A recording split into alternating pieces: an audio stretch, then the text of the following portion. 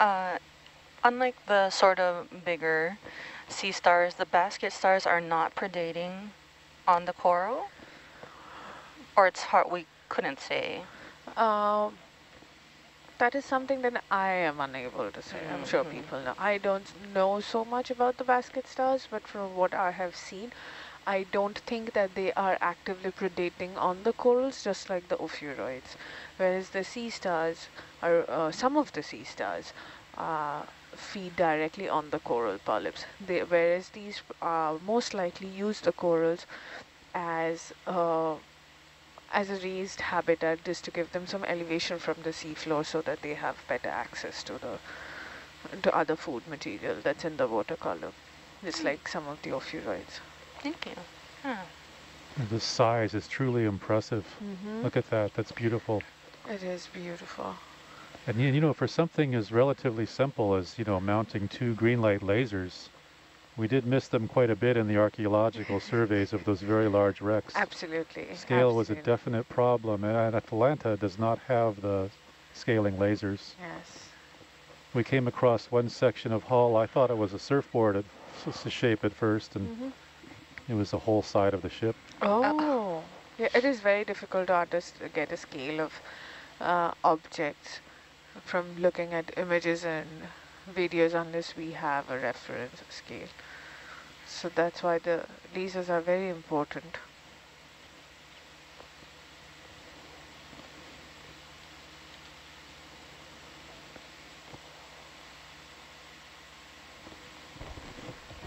So although the composition of corals have changed, you'd say we're still seeing quite large ones yes. like we were last night. Yes, absolutely. And abundance. And abundance, absolutely. I'm impressed by like the thickness of the axis of these corals. Exactly. This, the, the branching, the main branch. Yeah, it's just so thick. Very strong.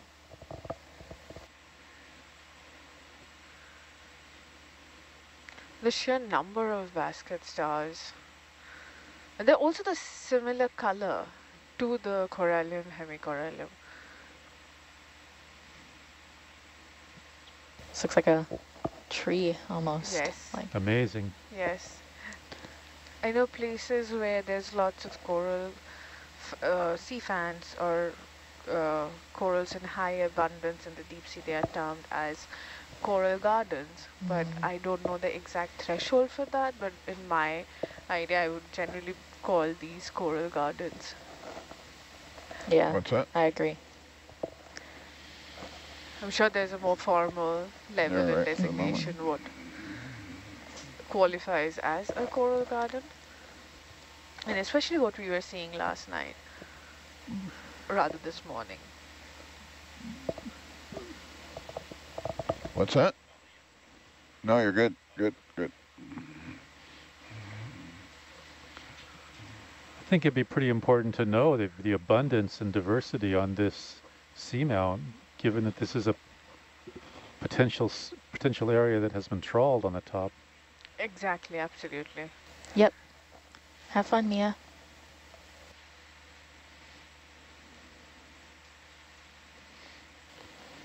Also a bit sad to think about as well. Absolutely.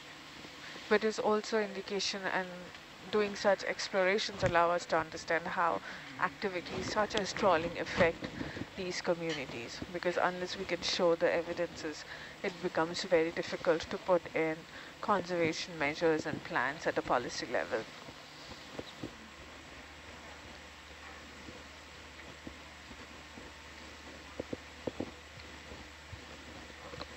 That's quite some abundance.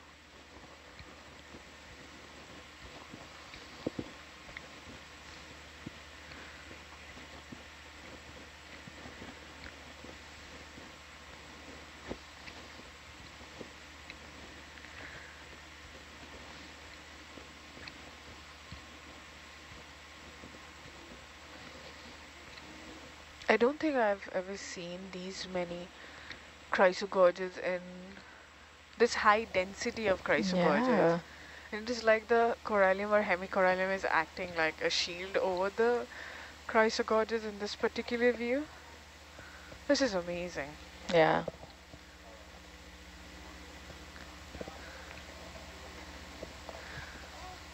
It's beautiful. Even the view from Atlanta tells us about the about the density of the abundance of the corals in this place, and uh, especially on those parts which are jutting out from the main structure. Come up five. Yeah, this. I'm looking for flow or some type of uh, current here, just marine snow, for evidence of why this particular rock face might be of benefit, but not seeing anything right now. Yeah. Mm-hmm. That was a cover shot. Thanks, Dan. and there are a couple of ophiuroids probably practicing uh, yoga early morning. It's not early morning for them, but mid-morning yoga stretches yoga? with two arms stretched out.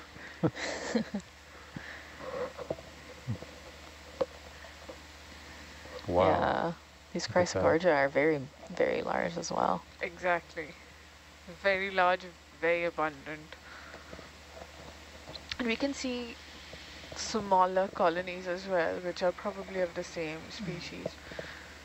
So it is a very, it's a thriving habitat, definitely. Not only are we seeing the older, bigger colonies, but also much younger colonies interspersed with each other.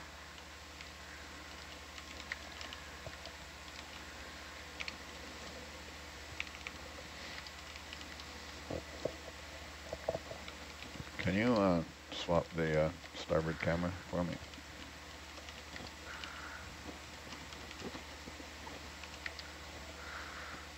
Yeah. Thank you.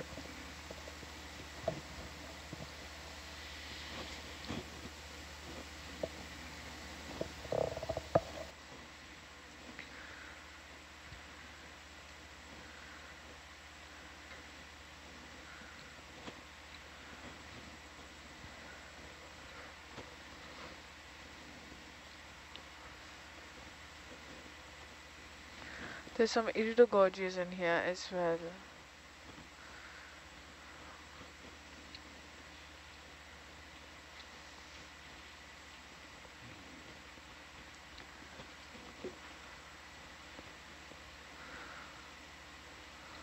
That is a tall, a very tall Chrysogorgia.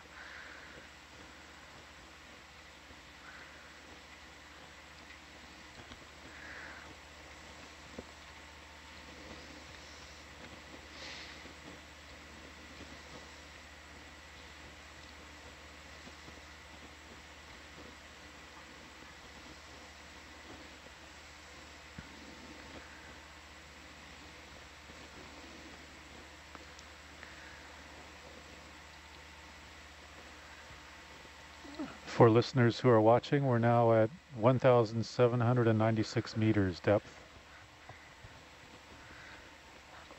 Uh, will it be possible to zoom in on that bamboo coral?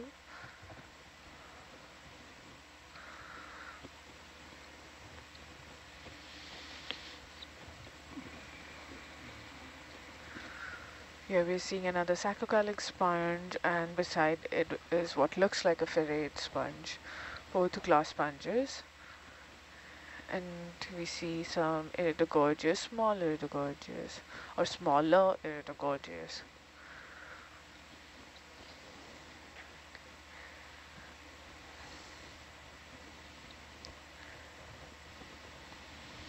Push in a bit there, video.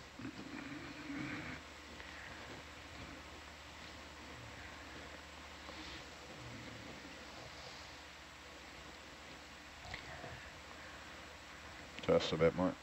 Yes, this looks like uh, a bamboo coral, genus Keratoisis.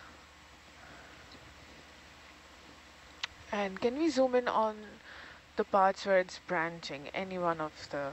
Yeah, right. Yeah. Give me a second. Yes, yes, absolutely.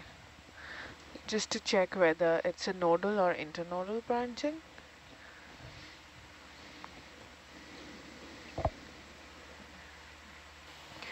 So nodal, the polyps will be okay. at the nodes? The branches will arise at the nodes. Oh, the branches, okay. Yes. And internodal Just is in more. between the Yes. nodes. Yeah, from here it looks like internodal branching because the top branch is coming out from the white part and I can see a black ring above that.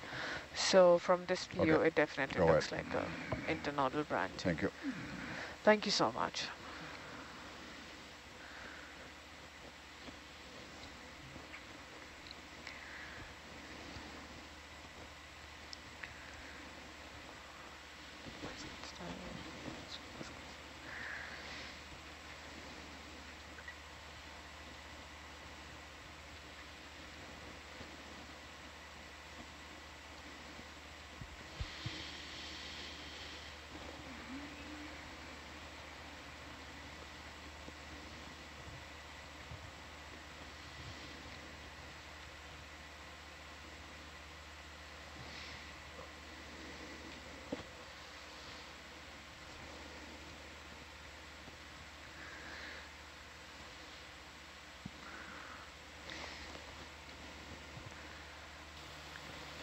So in addition to our visual exploration, Hercules is also outfitted with the capabilities to collect samples.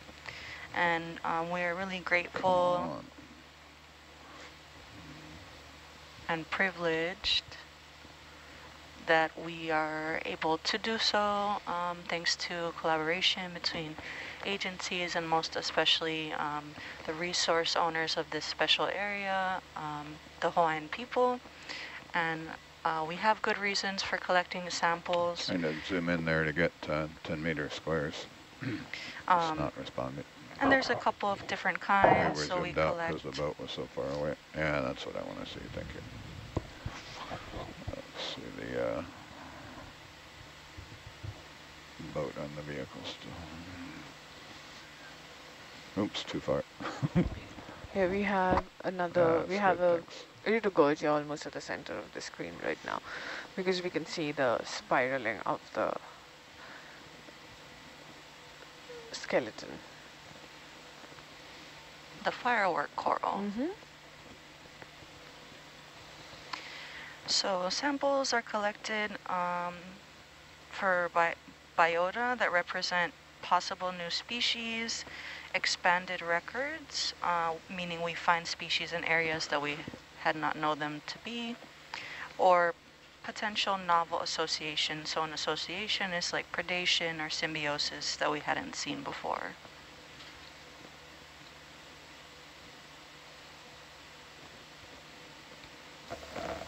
Do you think those are bacterial mats, this discoloration there? Yes, Yeah. yeah, that's what I would think.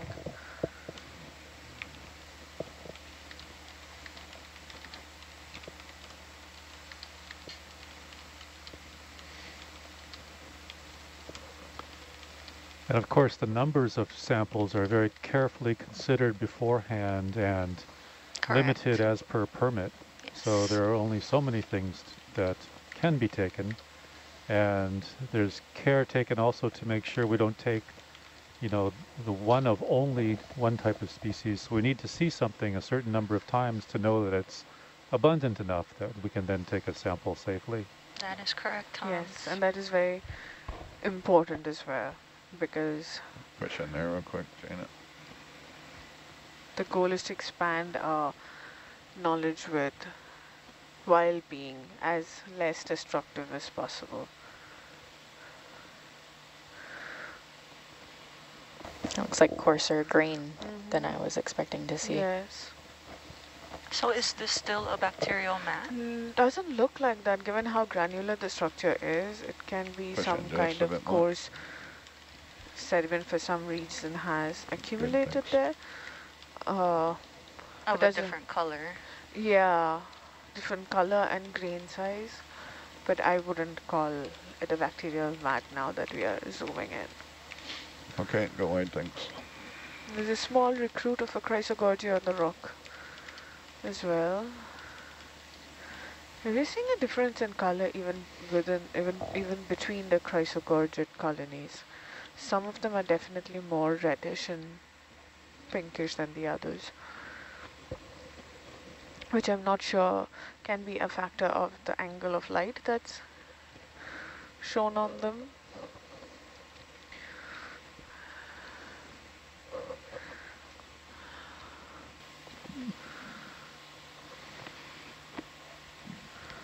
So the colors that we're seeing, and I know you talked a little bit about this before, they're the result for some corals of um, biochemical processes.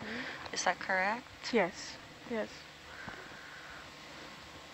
Biochemical processes, there's no evolutionary advantage or disadvantage to uh, losing the color or keeping the color, and also the fact that uh, there's a need to be camouflaged in the environment. So we are shining light on them and we are seeing these colors, but in a water column, red penetrates the least amount. So there's an advantage to being in the red spectrum of light. So everything will appear dark and black. What is that? Uh, Just another kind of a yellowish color. yeah, that looks like a crinoid which is sitting on a dead sponge, Yeah, probably, yeah. because the basal structure looks more like sponge, but the organism on top of it is definitely a crinoid. Yeah, but these um, these species don't live in a world of color. They live in a world of darkness, and in fact, this will be the first time that light has been shown on them. Absolutely. Th does it look like a shrimp on the Chrysogorgia, the very red? It looks very large if it is. I can't really tell from here. Yeah. And It could be an ophiuroid, but it looks very thick in comparison to... Yeah, it does look elongated. Can be one of these large nematocarcinids. Sponges. But we are also seeing different colorations when it comes to the corallium and hemicorallium. Here's this dead bird's nest like a, like a structure is probably a dead sponge that we are seeing there. And we are, the basket stars are placed on top of the larger hemicorallium or corallium uh, mm, fans, whereas we are seeing more of the ophiuroids, the, I don't, this, what's the common name for ophiuroids? Brittle star. Brittle stars, yes. The brittle stars on the more orange uh, colonies, the more orange corallium or hemicorallium.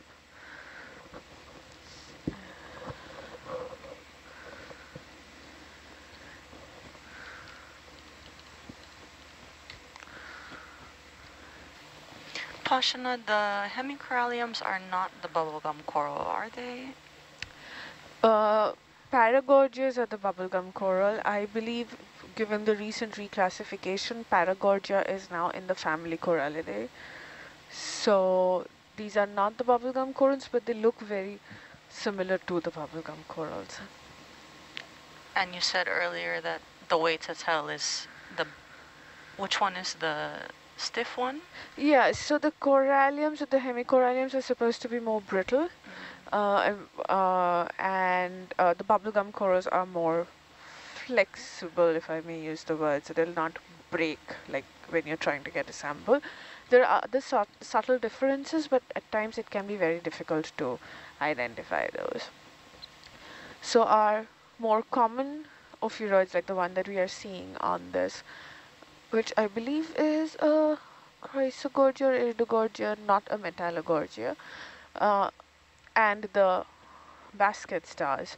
So both are uh, in the class of Ophiuroidea.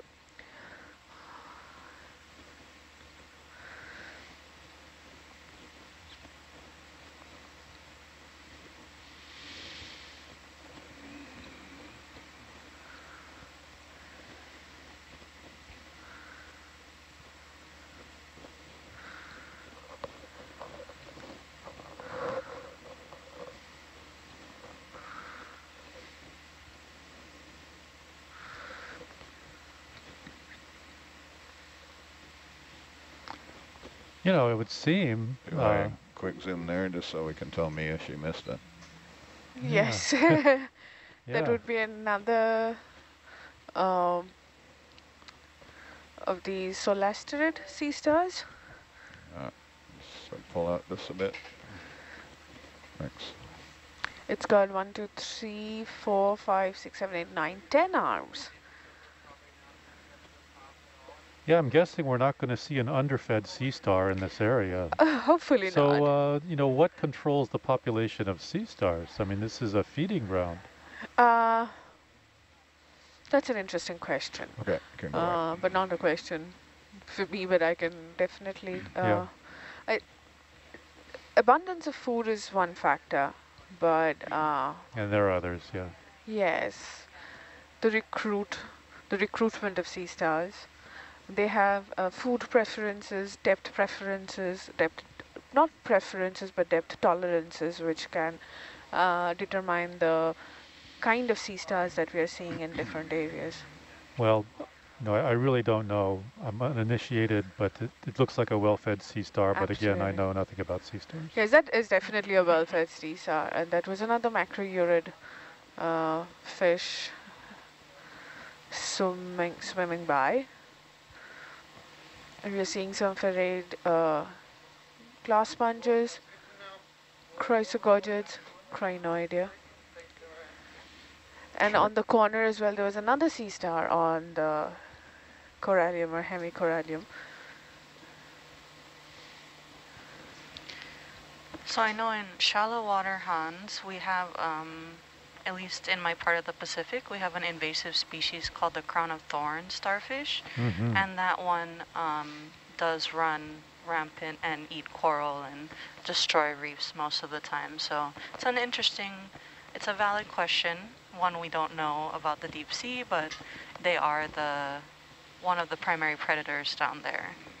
Yes, there are several predatory sea stars, like you said. We're again seeing two bamboo coral. Um, yes. Yeah, that's also in American Samoa, and um, there have been you know a number of diving missions there using rebreather technology and divers going in to try to mitigate the population of those very Yeah. predatory sea stars. And also from what uh, the little I know about the crown of thorn sea stars is that, uh, yes, they are predatory, but their uh, large population, uh, the, the fact that it is a problem for the reefs is also because of the changing temperatures and the changing ocean conditions that's allowing them to, uh, allowing the population to increase at a rate which is probably higher than the, th their normal rate and anything that would have predated upon them or um, so overfishing is another problem which is leading to those. So there are several factors whenever we see such ecological problems uh, more than uh, the organisms being problematic. They, they never are because if everything exists they exist for a reason and they have a role in nature and it's well balanced. It's an intricate balance. But as soon as we uh, come in and destroy that balance, that is when we start seeing these problems. So, and that's why probably we don't see the see these predatory sea stars being a problem in the deep sea, because there's a balance that's keeping their population number under control, and everybody's the, everybody has pressures controlling their population sizes, and when that balance is tipped, it it becomes problematic. Well, said. yes.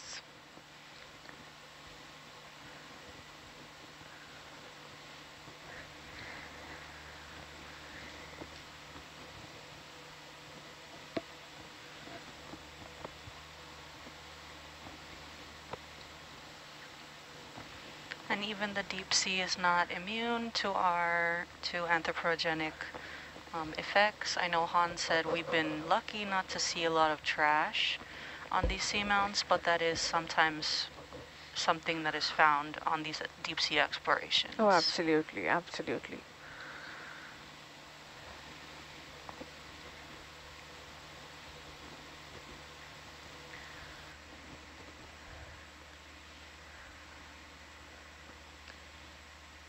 Are you checking all the um, Niskins for uh, microplastics as well?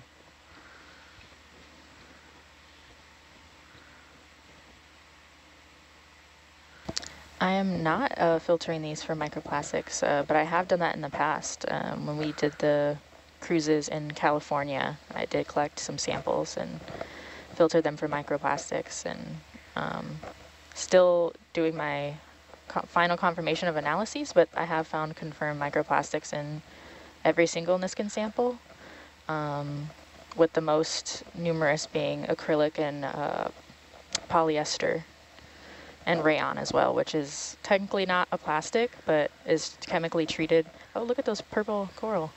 Uh, and a cup coral, and I a think. cup coral. Um, so yeah, not for this cruise, but um, would be interesting to see. Push in their video, please. That's not a, I mean, it's a, it's good for your thesis, but Yeah, not good for humanity. Right, not what we Good- wanted, good, but thanks. wow, these, are these These look like, zoanthids? uh, No. no, one, two, three, four, five, six, seven. Can we zoom? Is that the full zoom? No, Uh, that's definitely a Hmm. beautiful cup coral, probably Desmophyllum. Uh, if these are octocorals, they can be, oh, that is a bamboo coral stalk. So these are uh, stoloniferans Stoloniferans, okay. overgrowing the uh, bamboo coral stock because we can see the black and white uh, alternating pattern under the uh, purple polyps. Oh, there's Wow. some next to it too, Good no? Yeah, On the rock. exactly. On the rock as well, we can see them forming a chain. Wow. Beautiful color. beautiful color and in contrast to the orange that's next to it, the or red orange of the hemicorallium.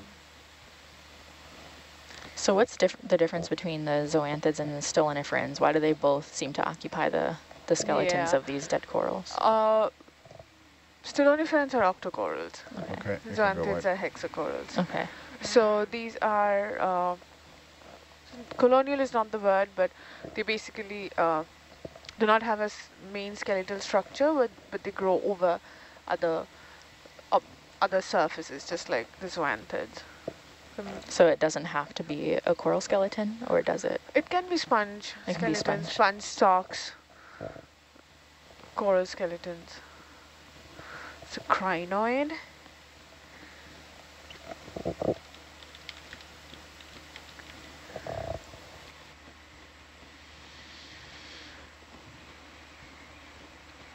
I can get a tighter shot there if you want. I have to put a toe out on the rock here. Many a times temperature and environmental factors act as uh, limiting factors for population growth. So it is very important. That is why when in the su surface layers or the or the top layers of the ocean where we are seeing changes in temperature, it is uh, we are seeing uh, great changes in the abundance and population size of several of the shallower water uh, marine taxa, the same that's happening with the jellyfish jellyfish blooms. Because of the high temperature, it's allowing them to breed at a rate which is much higher okay, than their can uh, push in there, uh, normal rates. And also, overfishing has removed their predators. Predators. Yes. zoom. That looks like a Munidopsis. That's that's a good view of the cup coral. We can also see some um, stoloniferans in the at the back, the yellowish lines where they're growing over the rock. Sorry about the porch there, I got a little close. To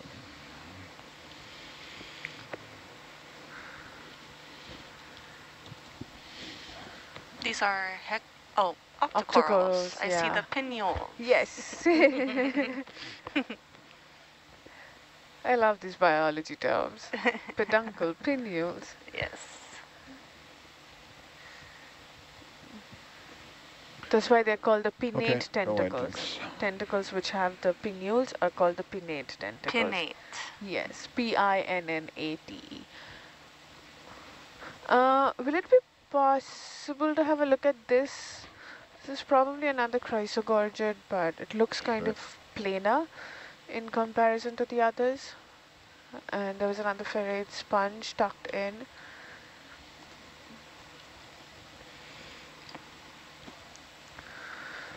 As Hans likes to say, Pinnule will be on the quiz. Not my quiz.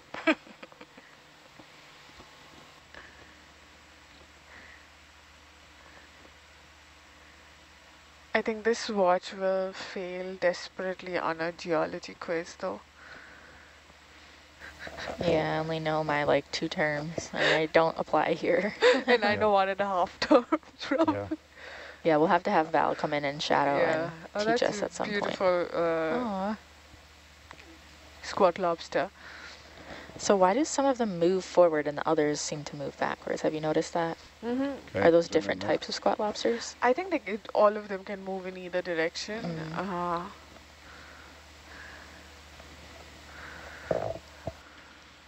Yeah, it would be nice to have a geologist on, on every watch, but we only have two on board and even geologists need to sleep and eat, or so I've been told. We don't want geologists and biologists on the same watch. Too much arguing. uh, that does look chrysogorgid-like, the polyps. Yeah, But it looks is- different, doesn't it? Yeah, but it's more planar, right? Yeah. There are planar chrysogorgias. In the family Chrysogorgiidae, Push in just a bit more if you got it. uh, There's very light colored too in comparison. exactly. Light colored, Oh, planar. Shrimp associate. Yes, it's like mysid shrimps. They like to be close to the polyps because the polyps, using the pinnules to push down whatever they catch from the water, they just push them mm. down towards the mouth, which is at the center of the polyp. So it's a good way of getting the concentrated food directly rather than catching it from the water for the mysid shrimps. So they'll just go and take in the ah. filter. Wow. They'll take the polyps food. Yeah, what it's Are we good? Yes, we are good. We are good. I don't know what kind of a Okay. chrysogorgid it is, but we have a good image of it to look at. I can go through the database. It's as a well. tough world down there. Yeah. Savage little shrimp. And also they probably help with cleaning and protection. okay. So there's some give and take always. Yeah. Hopefully. The last part was me guessing, so Yeah, I gotta share your resources down here. Yeah. Or I guess not if you're trying to survive. But it looks like there's more than enough to share in this Yes. environment. With some beautiful crinoids. There's a there's a glass sponge in the back. We, it's too far for us to know what it is, but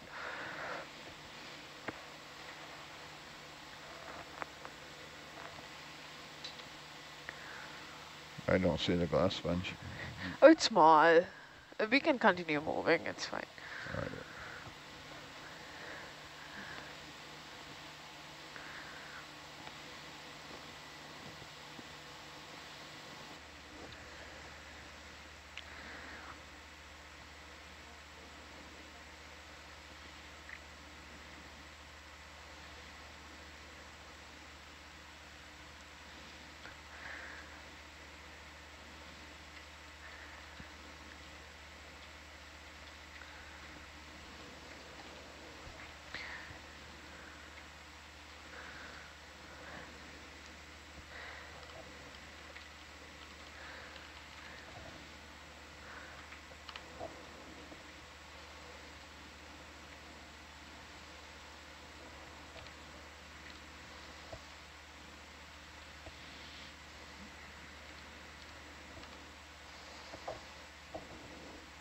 I think we are coming up on another one of those Eknomisis or Jasonisis bamboo coral fans again that we were seeing uh, earlier in the morning. Yeah, we haven't seen one of these in a yeah. while. This is pretty large. This is a bamboo coral, Mm-hmm. the large colony. The large, yeah. Remember we were seeing uh, some of them more whitish and the others with a yellow tinge. Mhm. So probably an Eknomisis.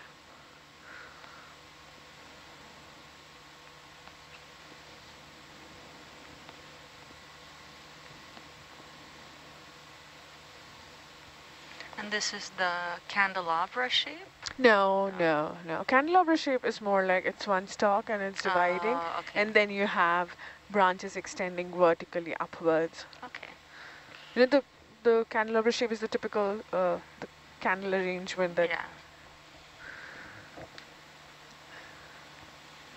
that's a beautiful colony and it has an Yeah. ophiuroid. That's what it looks like. Yeah, it looks like it. Pretty large one. Yeah, The base of this coral is also very large. also very large.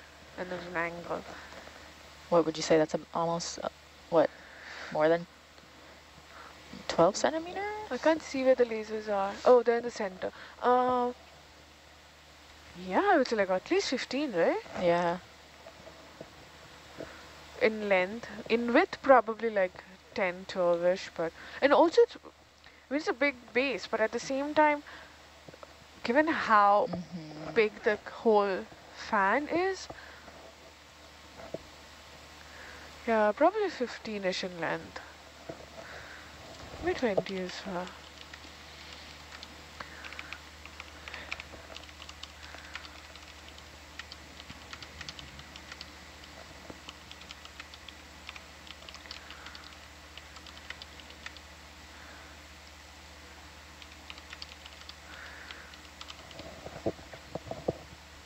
Yes, the stoloniferan octocorals, instead of like I was saying, they don't have the skeleton, but they're connected with, um, they're obviously colonial and clonal because all octocorals are. But instead of having internal skeletons, they ha they remain connected by stolons, which are uh, that like we see in plants as well, which are like runners, uh, connecting different plants or different polyps in this case, so they're encrusting. So I, I was forget, I was blanking out on the word encrusting before.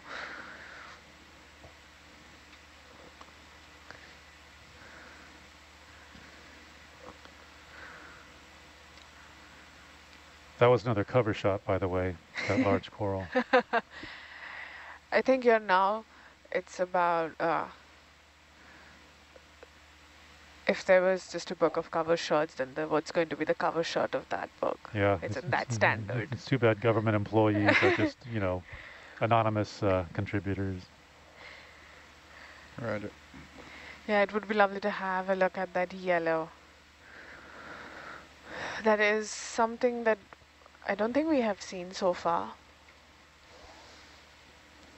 At least not on our watch. No, not on our watch. And it could be, uh, there are some uh, corallium and hemicoralliums which are yellowish. So, so in the family Coralliidae, uh, given the pattern, that is what it looks like. But I would love to have more confirmation from the chat.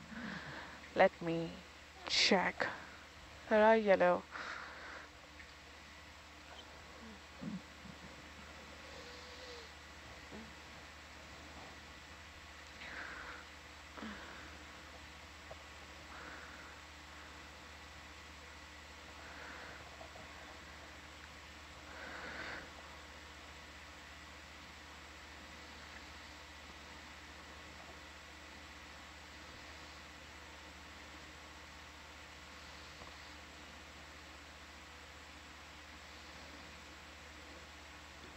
Hmm. Oh, Wow. wow. Uh, That's a cool picture you just took on. Yes. They're all cover shots, Jacob. This is a beautiful view. Beautiful color too. Beautiful color. Can we, uh, will it be possible uh, to have a closer? Yeah, give me a second. Yes, absolutely. So this is a hemicorallium? I Oh, we think it am. I am still looking, honestly. Okay. I'm not sure.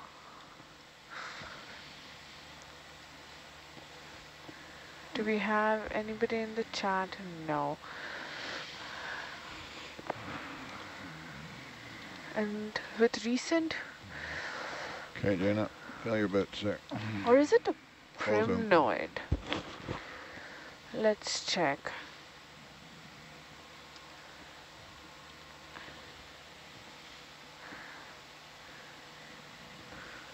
Wow. Oh, I see a a little guy, a little critter over there. On Can the, you point it out? Squat lobster? it looks like a. Is it a, Oh, probably a the, shrimp? On the right? Oh, yeah, I see. Can't tell what that is, but it's like Oh, a I'm pale look- salmon color. It's more in the corner. Top right corner. Yeah. Yeah. On the left. Oh, on the Oh, left. oh, oh, I see. It's absolutely on the top. See something top bobbing. left. It's out of the frame right now. Oh, okay. Sorry. Did not see that one, Elsa. I think it is just a shrimp. Oh, and then it, uh, the polyps closed. Closing. Uh, is can we get a closer look at the polyps, maybe, if possible, or is that That's, full zoom? yeah, we're fully zoomed in there. I can't really, uh, yeah, I might.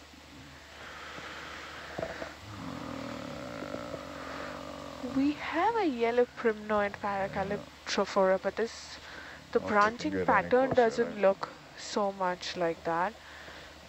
Mm.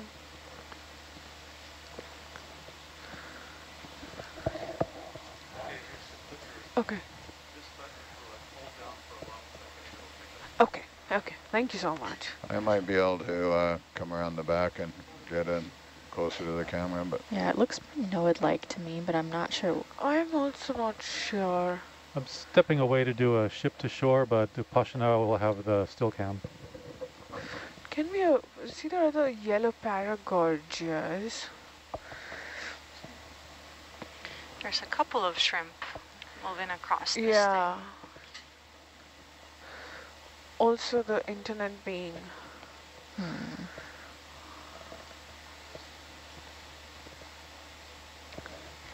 What depth are we at? 1784. There are the yellow plexaurids, which are now paramuriceids, uh, which, so I was thinking more like these, but they, these are, this is deep.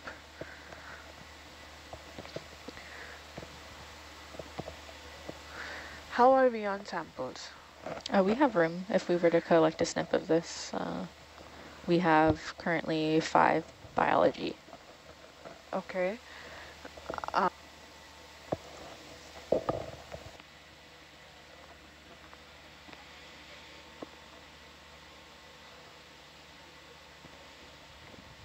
The one that you have in open in front.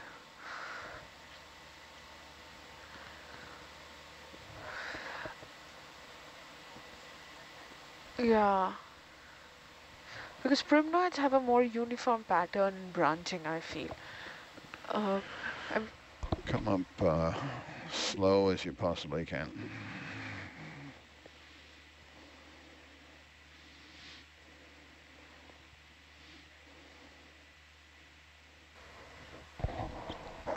Um, uh, no, we're not going to sample. We just, um, yeah, we were just comparing. Uh, we were considering it for a moment, but uh, also there are plexaurid and plexaurids are good right now.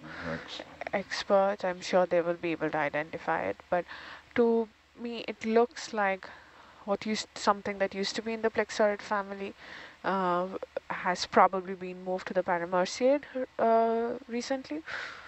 Mm, or can be a it doesn't look paragorgia or a paragorgid okay we have good images of it Okay, you can go wide, thanks. thank you so much yeah there are some deep paragorgias which are yellow in color That's so beautiful. That is, it, that is a wonderful. Yeah. Just stunning. Yeah, you missed it. We saw the craziest sea star while you were gone. We've seen about like seven actually. Oh man. no, we did. Big, Um, huge fat ones. We had a really close zoom on one too. yeah, we did for a while. I was doing a ship to shore with my my parents and their HOA community. They they live on uh, South Carolina, so there there was a moment we did lives. We showed what you guys were seeing, but it wasn't with all the sea stars. I wish they could see this image because it's so beautiful. It is. That is a cover shot. I want to frame that, but I'm like. Absolutely. I was joking. You didn't really miss any sea stars. You, uh, there was one. There was one, but it was really there was one, but It's not cooler seven. than every other one we've seen, that's for sure. Yeah. This looks like overgrown by zoanthids now.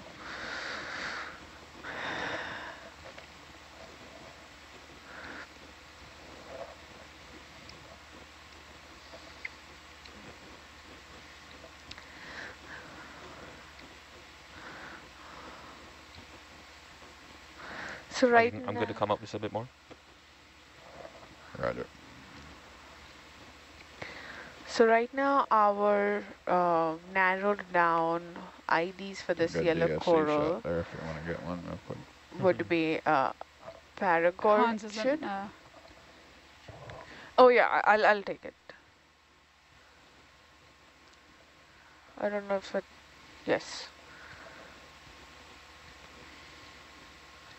So beautiful. I think I took multiple.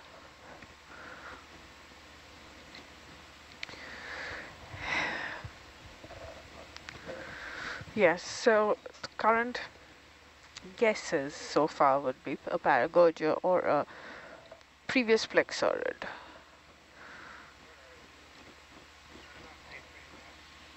Come up uh, a few more meters from it.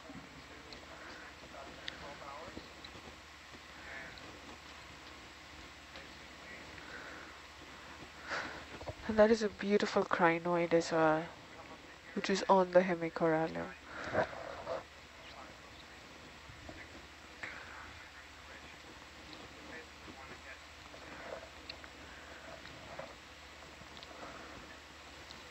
Came up about three. You want me to come up a little bit more? Yeah, I'm gonna come around under you here. All right, Roger.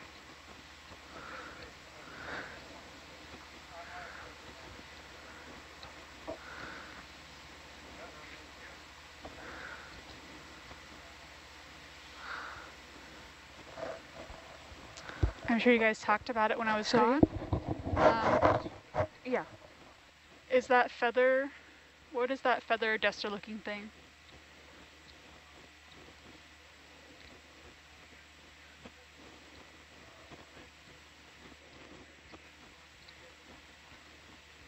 Can you guys hear me? I think they're Uh, Daniel's They're talking to them back science, science huddle. Oh, Science oh, talk. oh, got it, got it, got it. I just couldn't hear myself in my ear, that's why I wondered.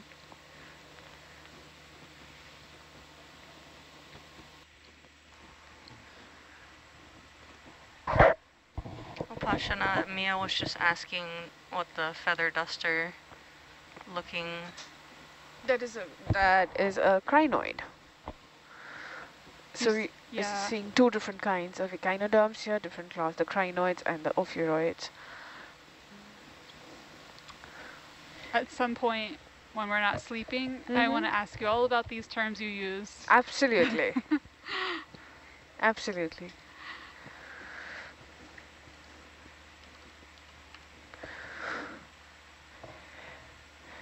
Yes, they do look like feather dusters.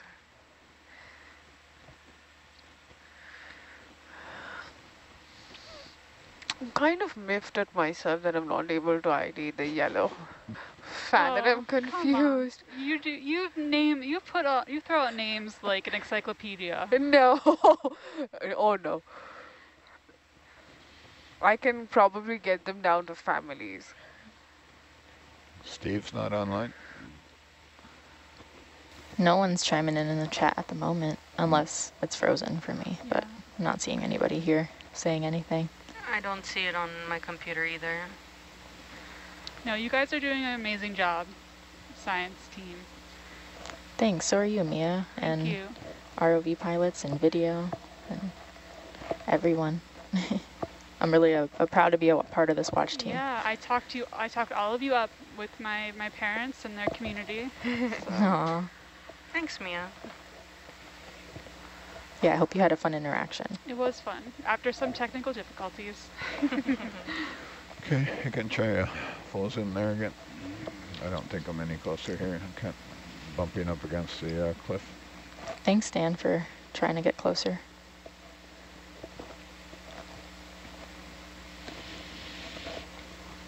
Wow, yeah. That actually is a really good shot of the polyps up there at the top. Yes, Yes, that is.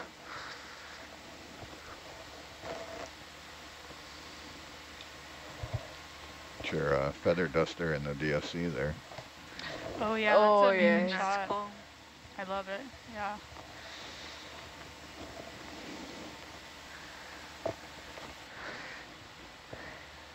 Who's here? Let's check. Who's on the chat? Upashana, there was a, I don't know if it would be helpful. It's from our um, viewers chat. They also suggested to look at the base Yeah. of the coral. Uh, you want to go wide for a second? Well, did you get some images there, did you? Yes, we have images. Thank you. You can't quite see the base from this angle.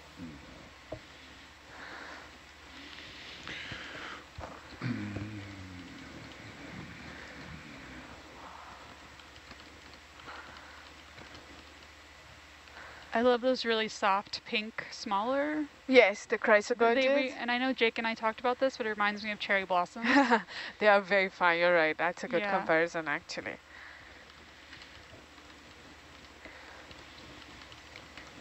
Uh, I see that Asako is online, so I'm going to ask her if she can help us ID this uh, plexaurid.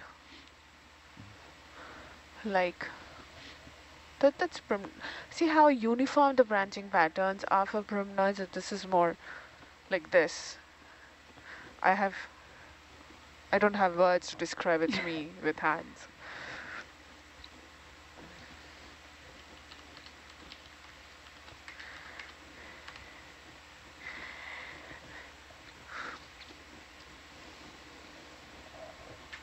Yeah, I'm confused because it looks way more dense than the plexaurids we see here in these pictures. Yes, and also very different from the, uh, it doesn't look exactly like the, um, what was it, uh, the paragorgia, the yellow paragorgia, and also doesn't look like the plexaurid, but there are several different kinds, so that's why I'm confused. There's some good nice ferret sponges, uh, hemicoralliums, chrysogorgids, I'm gonna come. I'm gonna come back around and in. Yeah, there, I think, Elsa, you pulled it up, the Acanthogorgia. Yeah. Uh, yes, the Acanthogorgias can be strikingly yellow, but the Think it's like- problem is that um, almost even though that is tagged as an Acanthogorgia, I was fix it. thinking about it, is, so my lab mate, James Aubrey, he works on Acanthogorgias, and the little that I have learned is Acanthogorgias are rarely this deep. They can be. And many of the Acanthogorgias or colonies which were thought to be Acanthogorgias are paramuriceids or paramuriceids, given that a have also been moved to that. So it's a very I, I am not the best person to differentiate looking just at the colony morphology and sometimes it's very difficult also because it comes down to the structure of each polyp. I think it might be Acanthogorgiidae. Yeah, Yeah, so I've s- I know for sure, for example, like that is probably a paramuriceid. That is not an acanthogorgia. This picture in the ID guide? Yeah, Oh. yeah, because it's very difficult and a lot of them fall in the paramuriceid clade, Mm. what has been called acanthogorgia. Uh, but it can be. How's that dozer rat So there? if- Ooh, we have a cool fish again. Oh, that's a big one. There's another fat sea star too. Where is it, Mia? It was, it was it's that we're off screen. Oh, I didn't want to interrupt your beautiful commentary. it's more confusing commentary at this point. uh, can we have a look at the fish? Unless it Um, goes and hides It's under the rock. Hiding. Yeah, they can. The, yes, this this colony actually looks like the one that we were seeing. So it can be an acanthogorgia or a true paramuriceid. Push in just a bit before I start. Yep. That is. That is a Good, good, thanks. macrourid and a big one. Yeah. Is that Dozer. a grenadier or is that different? Uh, Rat tail? yeah, the rat tails, macrourids. Let's see if we can. I know there's a tab open for. I was looking at the fishes previous. Do you see that little one down on the bottom? Yeah. They're so tiny.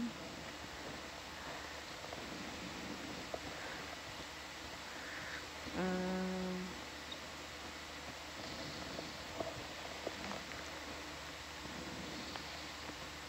It's a beautiful fish.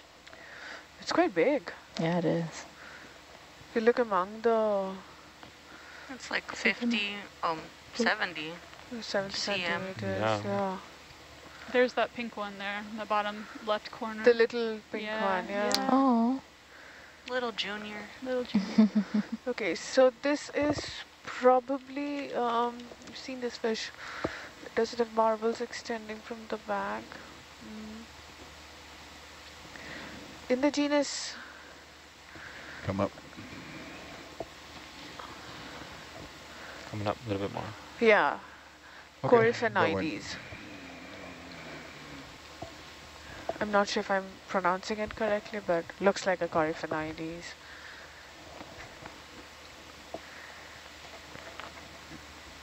Those are macrourids or ragtails. Can uh, bring our head Up uh, three. to the west. And that's uh, Oh, is that a what is that Ctenophora. in the An background? That's a, what is that?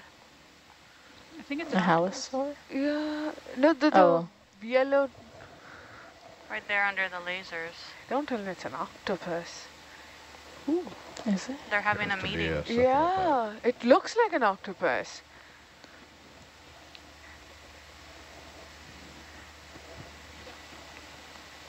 Looks like it's in a fight. Yeah, we're It is, stuck. it is, it is. Wow. They're ganging up on him. on on the sorry. Animals not have no gender. Yeah, is it like? It's probably a like female. If it's, it's probably a brooding. yeah, I'm not sure we can really say without. Yeah, If, if we see eggs, then we would. I know there's a way to tell the difference between. Yeah. But Yeah. um, uh, I think it's one of their arms. I can't Yeah, remember which one is longer. I remember after hours Third of, one. right Yeah. Those are what? yeah. Squat lobsters or crabs surrounding it. So that would be the first uh, cephalopod, the first uh, octopus, octopod that we are seeing in this expedition. I was just thinking last night of drawing an octopod here on the boat so that we see one. She manifested it. Yeah. Absolutely. Is that crab eating it? We cannot hear you, Jenny. We need to look at it, what's happening. Can you hear me now? Yeah. Oh. It does kind of look like he's. Exactly. They're Look- eating it. Is it dead? This is very interesting. If so, i it kind of looks like they're stretching out that arm, Yeah. huh? Yeah. Wow, Can be dead because on the top also you see how it's, oh, it's it's stretched. kind of moving. Yeah. or oh, it's just because of it the could be water. from us. Yeah. This looks like it might be a predation event. Exactly. I wish I was down there eating it too.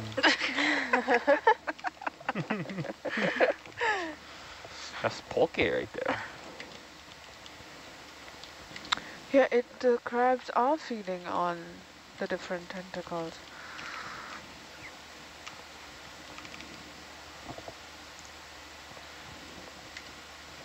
Oh, that's brutal, actually. Circle of life. Yeah. Yeah. Even in the deep sea. Everybody gonna Absolutely. eat. I mean, predation is Wow. Sad, I've never observed anything like this the- before. Pushing in. Yeah, turn the no predation is sad, but at the same time a crucial part of the life cycle. Yeah. So it looks like it's And a very rare Dead. sighting to see in the deep sea. absolutely. Predation events. uh look uh it is probably a cirrate octopod. Uh Yeah, it looks like it has ears on it. exactly. So I would put it in the suborder Cirrata. Is Grim- that Max? Probably a what, zoom in crab grinding Grimpoteuthis, them? but I'm not going to go for the genus. If they want to. Is that the same as more to- Dumbo octopus or different? Hmm. I know you're not a fan of the common names. Yes, and yes, it definitely looks like a dead octopod that's stuck there, and the uh, lithodid crabs are feeding on the different tentacles. And if we zoom in on the mouth of that, Oh, yeah, you can see it. we can Yeah. see Wow. Oh, yeah. Ooh. Yeah, can we get a zoom on the mouth of that? So Dan, I know you've seen lots of Wow. It is octopus. crazy. Based on the So cool. commentary I've heard from hours of watching this Nautilus, is this the first one you've seen that was dead and being fed on? Nope. Nope.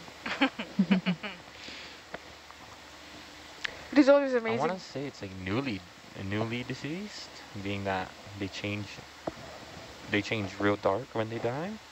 Oh, the color, yeah. Yeah. Also, given how less of it has been predated upon, it's it hasn't. But also in the deep sea, the conditions are such that the decolorations and everything takes True, longer. true, true. Uh, First one of this particular uh, species So, yeah. or family or genre or whatever it is. My dad just said, did Jacob really just say that's tako poke?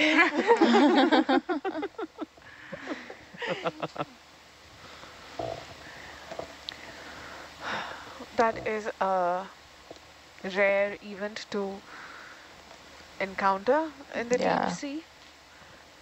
Uh, sad, Wow. but definitely a part of the life cycle, part of the natural cycle.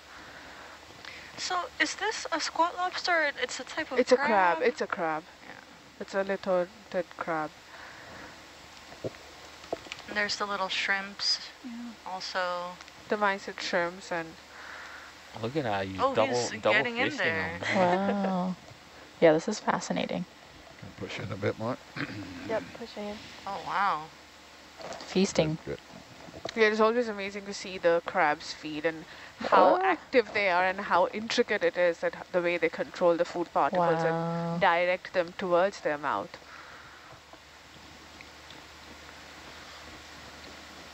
Yeah, we are not disturbing his feast at all. Yeah. No way. Or their feast, sorry for gendering. It's not chewy. Battle or sister. It's a little couple shrimp in there as well. Or, yeah, I think so. Yeah, there are a Yeah. couple of mysid shrimps. That is that a small? I can't tell what that is. A different. Hmm.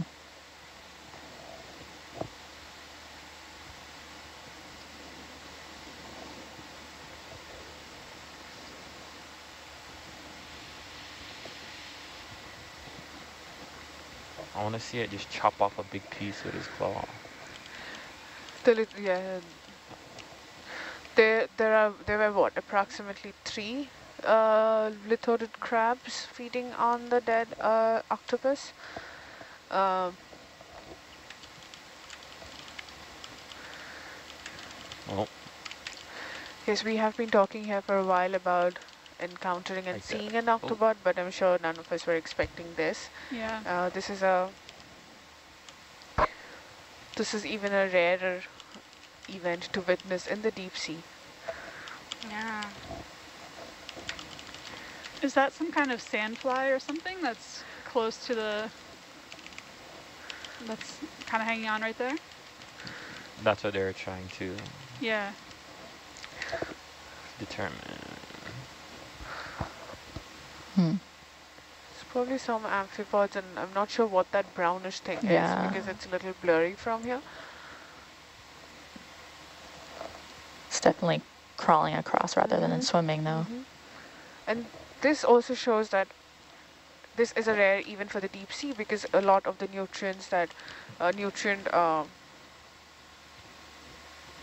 transfer to the deep sea happens from dead organisms falling on the sea floor. And uh, this is one such event and yeah, there are, there are lots of mysids and amphipods on the on the octopods octopod even more on the right side. Those are definitely amphipods there. I could watch this all day. Yeah. It's beautiful how intricate the crabs are when they feed. hmm They have complete control over what they are eating and how they are. They have excellent ta table manners. Yeah, no, no crumbs falling on the side there. No, nothing. Nothing gets wasted. Yeah, nothing against them. I usually like to smoke them first, but to each their own.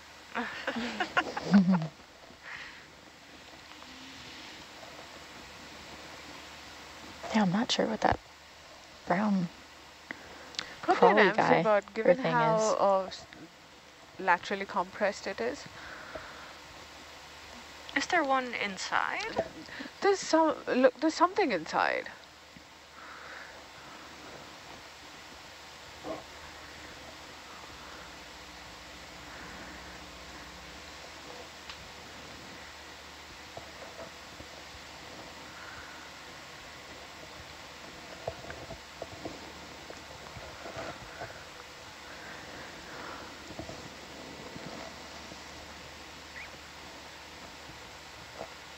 Yeah, I could also watch this all day. Yeah.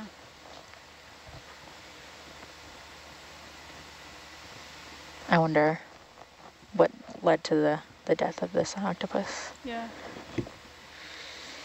and if we will see any more. Yeah. Yeah. Look at the head on that team. Oh, it's a good view of the, I what see is that some- camera called, Dan? Porch Uh, cam? It's uh, brow cam or porch cam, or we call it uh, bubble cam. Bubble. Bubble Awesome. cam. Yeah, those are amphipods that are coming over.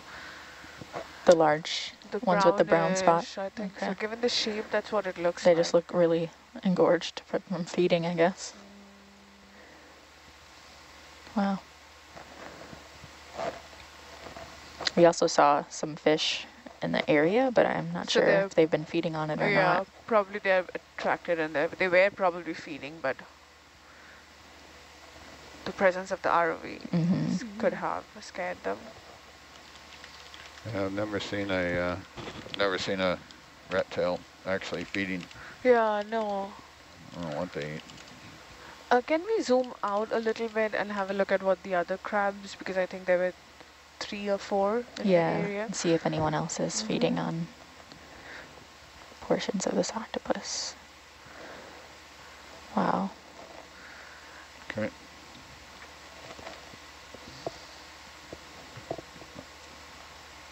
I know that for several of the octopods, uh, at the end of their brooding period, they die. hmm So yeah. the position in which it is stuck in, I am It not does look- sh- yeah. It kind of looks like that, but There's Uh, a word. There's a word that um, they use for. yeah, I can't recall it. right I can, I will look it up. Uh, because the way it's stuck in, it doesn't look like that it fell from the no, yeah, it looks like it was mounted there. Exactly. almost. So, or f- it can be for some other reason that Is died. it senescence? Yeah, yeah. They basically uh, wither away as Yeah. they're um, brooding their their brooding eggs. the eggs. What was the word again? Senescence? Senescence. Oh, senescence? Yeah, Senescence. something like that. right. Senescence is yes, is gradually withering away, but um, but there's another term for the octopods that's specifically used for them. Yeah, we heard it quite a bit in Mm-hmm. the uh, octopus garden.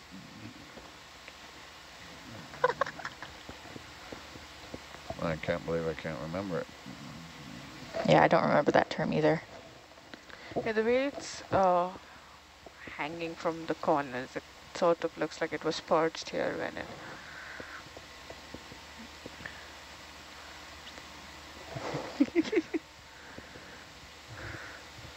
You want to try to get a stills cam shot of that?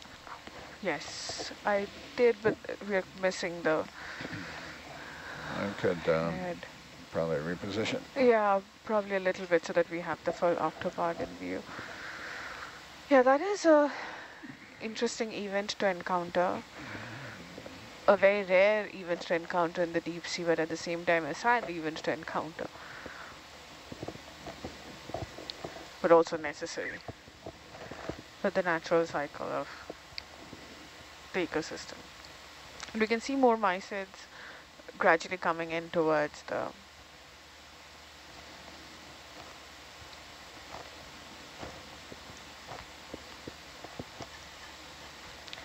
Hans, we have a dead octopod.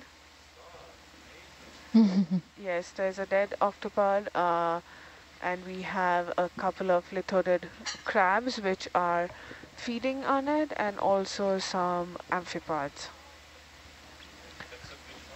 Uh, no, uh, he's repositioning the camera a little bit so that we have the octopod in full view. Are I have taken a couple of shots of this view, Yeah. but Are you ready to uh, reposition? Yeah, I think so. I. Thank you. That's incredible. It is, it is incredible. It is sad, but incredible and a rare event to witness in the deep sea. Uh, you might get one as the ROV floats up here, so Roger. be ready on the button there.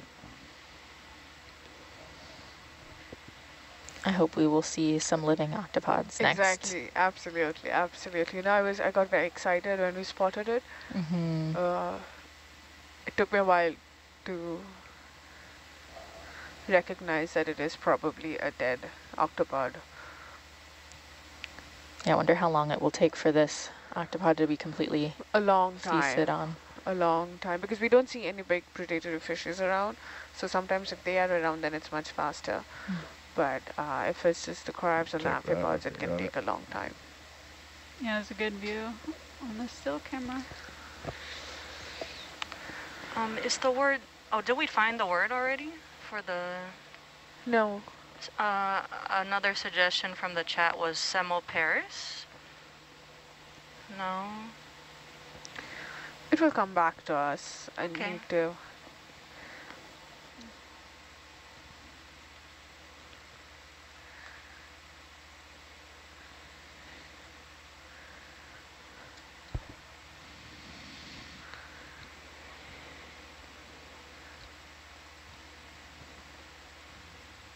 push in this a bit, please. Oh, how's that one crab? Good, thanks.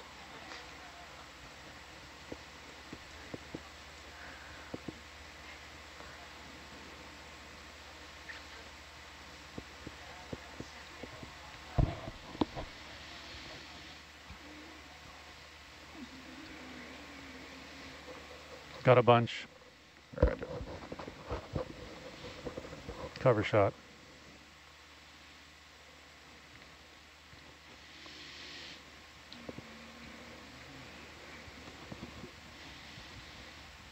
There's entire uh, entire PhDs on um, uh, decomposition in the deep sea. Yours or people in general? Uh, there's several scientists we've uh, worked with. There's uh, one in in uh, BC that specializes in uh, what do you call uh, doctors who work in a morgue? Oh, mortuary? No. Sorry. coroner. Coroner, coroner. Coroner, yes, yeah. Thank you. Sorry. It's been a long day. That's kind of morbid, yeah. The day you started. Uh, anyway, she she specializes in um, decomposition in deep sea, so done some interesting long-term experiments. Yeah. Growing up diving, you know, we know that octopus, they like, you know, their holes and they like to grab rocks to fill their hole. Uh, but, you know, those are little three, four pounders, you know, this guy I want to see the rocks that he can move to make his hole, you know, and cover up. Mm -hmm.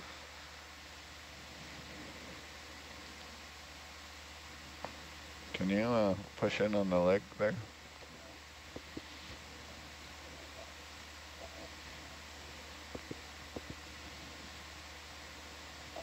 Good, thanks. Have some nice shots of those little brown things. Oh yeah the amphipods, I think. Yeah, you can see the tentacles starting to disintegrate there. The, the suction cups look almost gone.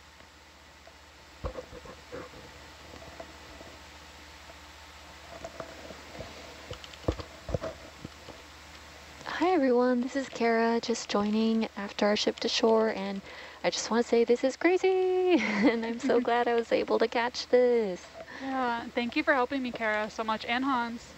Yeah, thank fun. you. It was really great session.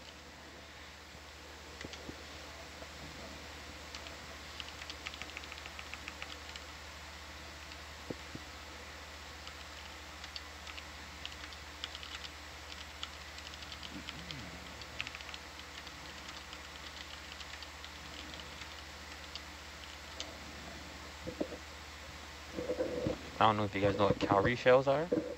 Oh yeah, but those, um, yeah. so old Hawaiian fishing methods was because they they like octopus they like to grab shells and everything to fill their hole. They would put a line on a big cowrie shell, bring it down, and then usually an octopus would come up and grab, try oh. and grab it, and then you just bring them out. still used today. Wow. Yeah, they had a basalt sinker next to that cowrie shell on that wooden stick, that barb. We find areas that were traditional fishing areas covered with those basalt sinkers. Wow. Yeah, so this um, this definitely looks like a cirrate octopus, right? And uh, in the family Opistid And you were right, um, yeah, the dumbo octopuses are also cirrate octopus, octopods. Um, I'll not go down to the genus level. An interesting fact about when they brood, some species can brood for up to four years. Yes. Um, yeah. So they really dedicate their lives to their yeah. protecting their, their babies and making sure that they Yeah. hatch. Uh, there was a study at one point where they found one of these brooding gardens and uh, then uh, they went back to that the same place every year or every couple of months to have a look at the status. Yeah, we've been there with uh, Nautilus a few times. Yeah, there's some really great clips online if you want to check this out. Um, just look up like Nautilus Live, Octopus Garden, um, and there's some different views of these brooding octopi, just um, kind of tons of them in these crevices, um, upside down protecting their eggs.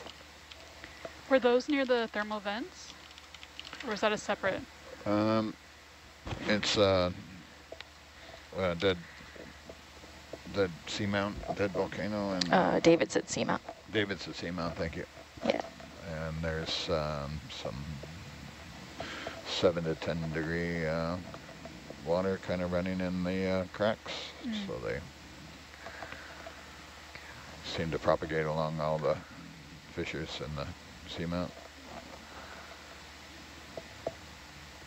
Just a few degrees Celsius warmer, Yeah. and uh, but um, low in oxygen, so it, it's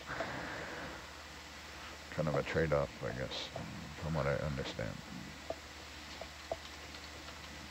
So they have to um, uh, keep the water flowing over their over their brood, Oh, okay. keep them oxygenated.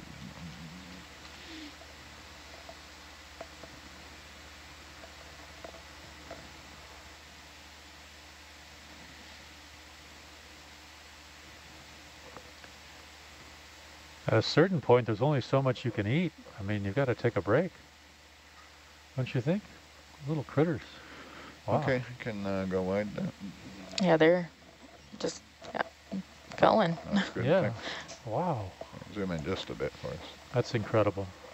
I'm trying to look up images to see what they typically look like and if these are larger in size due to the Yes, uh, feeding push in a bit episode that more. they're having right now. Yeah, probably for the small amphipods, uh, it's more like moving communities that one group comes and feeds, they move away, and then another group probably comes in. And this itself will be a source of nutrition for a very long time, and because uh, so nutrition of food is a scarcity in the deep sea, so whenever there is a source, it's not that they eat in small portions and uh, it's spaced out, but it is more like reserving the energy. So. Hmm. One of my favorite documentaries of all times is My Octopus Teacher. Yeah, I Mm, watched So Yeah. that. good. And if you haven't seen it, you should definitely watch it. Yeah, that's a great one. I went tide pooling once uh, where I live in Los Angeles. Uh, I was in San Pedro, and uh, we were just looking at all the creatures that were, you know, in the tide pools, mostly urchins and sea hares, um, some, you know, lots of algae. But one day, after many years of tide pooling in that same area, I got to see an octopus, like maybe a month after I saw that documentary. Oh, that's so Um, nice. so that was really cool. That's awesome. Yeah. Yeah, I've gotten to see a few while scuba diving, but not that many. It's very rare. Yeah, you have to be kind of clever. They'll pop up after you swim over them, so you've got to look behind you. Some people have a natural squid eye, right, Jacob? Jacob stepped out, but Oh yeah, if you have got squid eye, you probably Jacob, see them all the time. Jacob has left the room. I bet Jacob's got squid eye. Yeah, one time my most special octopus memory is um, I was snorkeling and I saw two um, two of them and they were kind of doing like a courtship. Um, So one of them was Oh. displaying these crazy colors and like textures like red to white and the other one was kind of sitting there like, ah, like I don't know if I want to do this. Yeah, and then they're Not kind of doing a impressed by the chase around and I think I just like stayed in that one spot for like an hour watching these. Yeah. octopus. It's Where like, I hope I'm not intrudu- intruding. Where was that, Kara? Um, that was um, in off the waters of this island called Moorea. It's Okay. about, um, Mm. it's kind of next to Tahiti. Yeah. Wow, that must have been very special. Yeah, it was a really amazing encounter. Um, and I used to help my friend also untangle underwater fishing line there as well. And one time I went down to untangle it and it was stuck on a rock and then um, like it was so funny there's an octopus right there on that rock and then I was like oh my god and the octopus was also like oh my god we both surprised each other. Um, so it's really it's so like they're so charismatic and like interesting intelligent right? Very So- intelligent, yeah.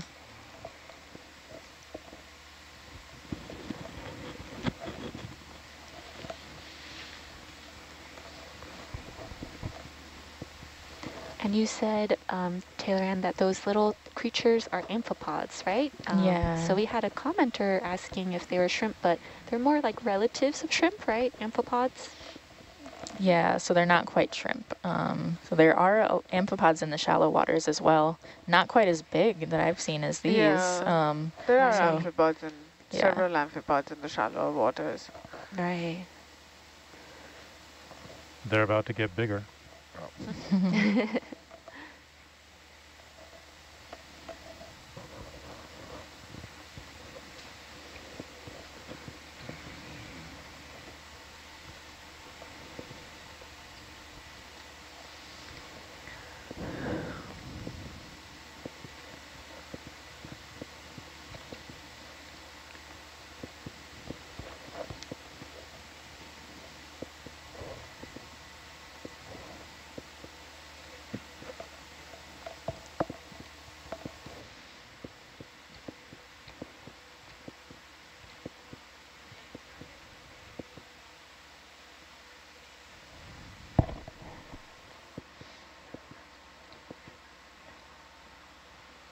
Uh, just an update for this dive. Uh, we will be extending it for 12 hours.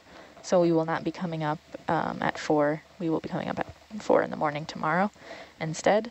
Um, and our uh, next course of action is to continue up um, until waypoint 5. And I think once we hit that, we will skip waypoint 6 and cut straight to 7. Okay, Roger. Thank you. Yes, Yeah. exactly. Thanks so much for the update.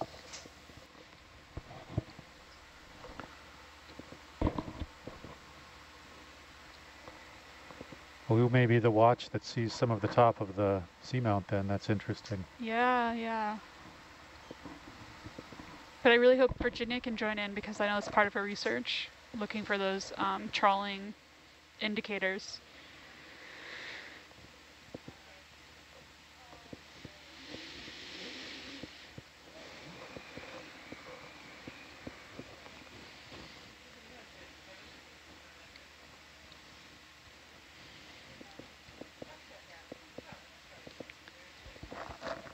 Well, now that I know it's extended, I, I feel like we can stay here for a while and watch this wonderful moment. Yeah, for sure. It'd be amazing to have like a time lapse of this. I know we can't, but Yeah. that would be amazing. But yeah, we can go ahead and move on and see what else there is in the area and see if we see any living um, octopods. How does that sound? Okay. Yeah? Is everybody ready? Yeah, we're good.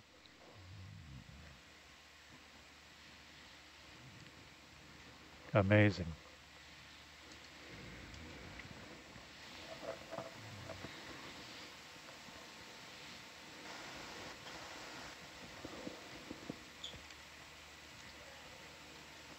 What's that? I can't hear it. Still didn't hear it. And thank you everyone tuning in from Canada, Australia, Japan, UK, Philippines, Italy, Germany, and Brazil. Um, we are currently exploring an unnamed seamount in Papahanaumokuakea Marine come up, National uh, Monument. Um, just viewing this octopi that was octopus that was getting um, eaten by some um, crustaceans. So uh, definitely stay tuned and uh, see what the ocean will reveal.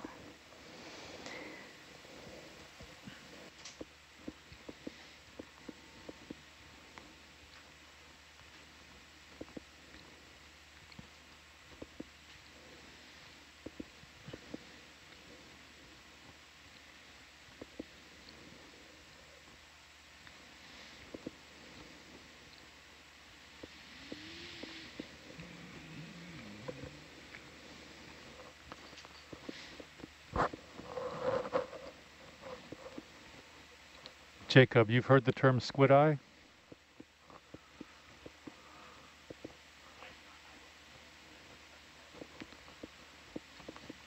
You on SPL? Sorry, not on SPL. Yes. Um, yeah, we call it tako eye. Tako eye. Yeah. Have you I, got you got tako eye? huh? I do not. My cousins do. They always tease me when we go Uh, that I do not have one.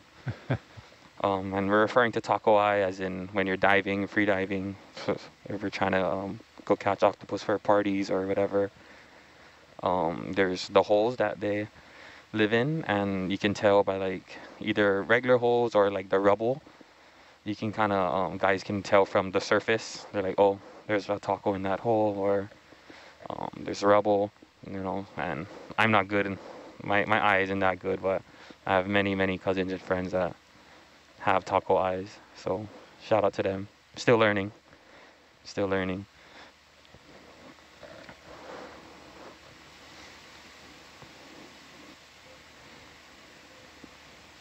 Thanks for sure, Jacob. And um, just to clarify for any viewers, I think it's tako eyes because tako is um, octopus in Japanese, right? Yes. Not um taco like Taco Tuesdays. Yeah, yeah, yeah. Tako. T A K O.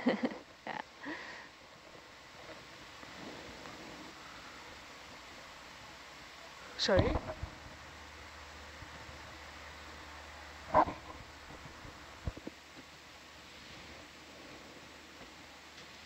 That's our first, um, the yellow stock sponge back there uh, I haven't seen that one yet.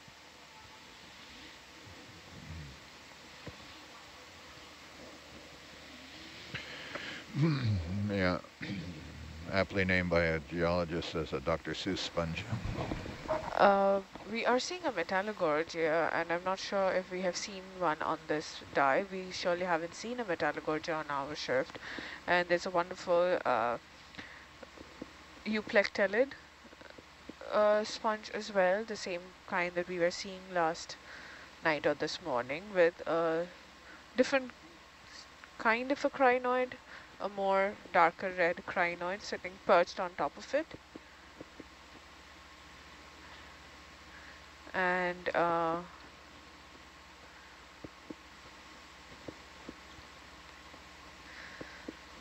the euplectellid was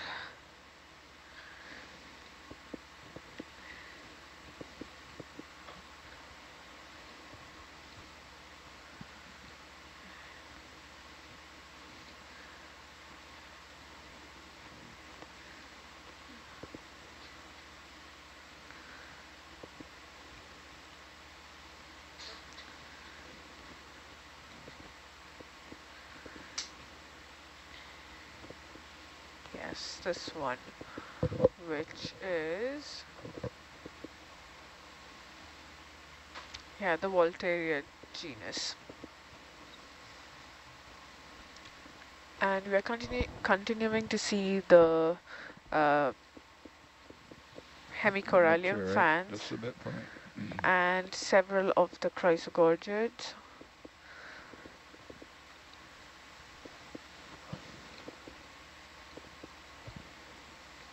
Uh, I'll be, I'm just going to step out for a moment. Uh, yeah, I'll be back. Oh, yeah, here.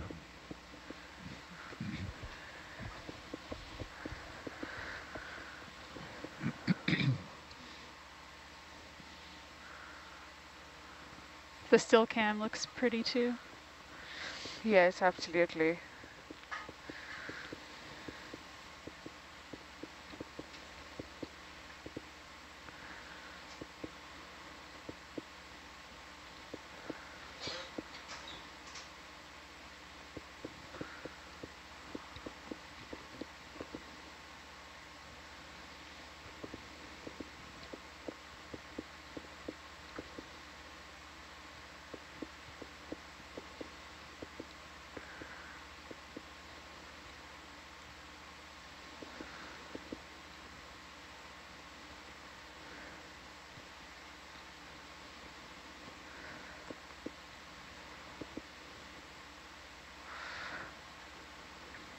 There are some big ophiuroids on those uh, hemicoralliums.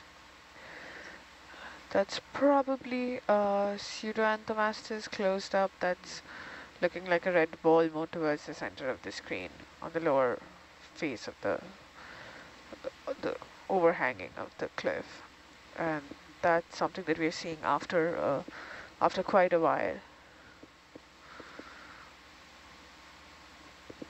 Yes, that definitely is a pseudoanthomastus. There's a big chrysogorgiids, a farreid sponge. Looks like there are some iridogorgias in the background.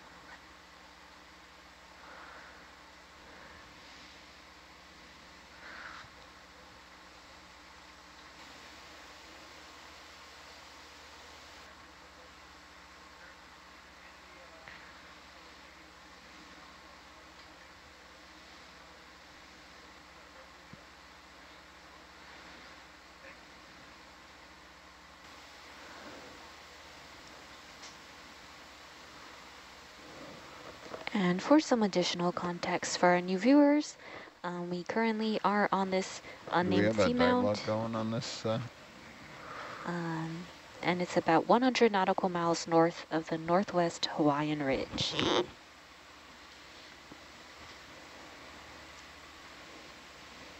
The summit is about um, at 800 meters, and we're slowly making our way up yeah, the ridge uh, towards the summit. Get one going there. Write some numbers down. You can write them in the red book if you want.